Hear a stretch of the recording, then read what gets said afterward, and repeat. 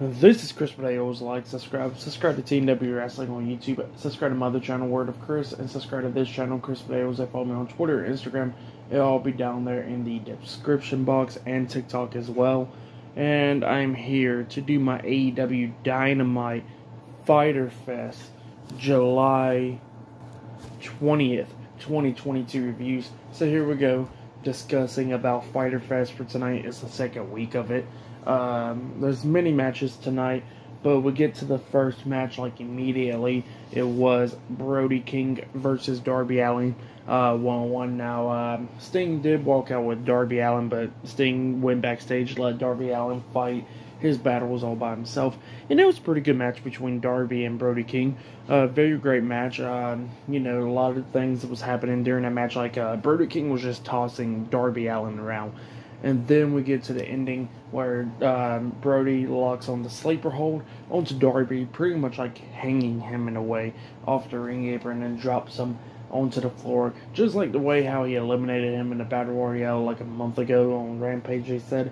So, yeah, same way. And Darby was getting counted out, but he made it back in by the count of nine, almost getting counted out. And as soon as he gets back in, Brody King hits his finishing move.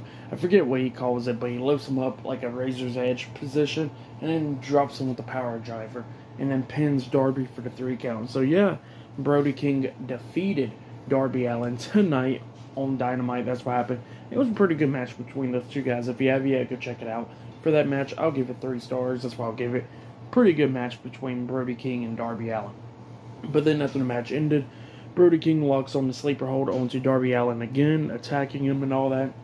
And then Sting comes out, uh, making the save for Darby, beating the hell out of Brody King, both almost fighting and all that. And then Sting drops Brody King with Scorpion Death Drop. But as soon as he drops him, the lights went out, comes back on. Malakai Black and Sting is face to face. And then Brody King comes up, locking on a sleeper hold from behind on the Sting. And then while he got the sleeper hold locked on, uh, Malakai Black spits the green, uh, the black mist into his face, and then uh, you know Sting was getting beat down by the House of Black. And while that was happening, uh, we see Miro walking out because his theme song plays, and he walks out. He's on the stage, on the ramp, I meant, and then him and Malakai Black stares at each other uh, pretty much from the distance. So yeah, that's what happened there. Um, so yeah, we're going to see what happens between Miro and Malakai Black.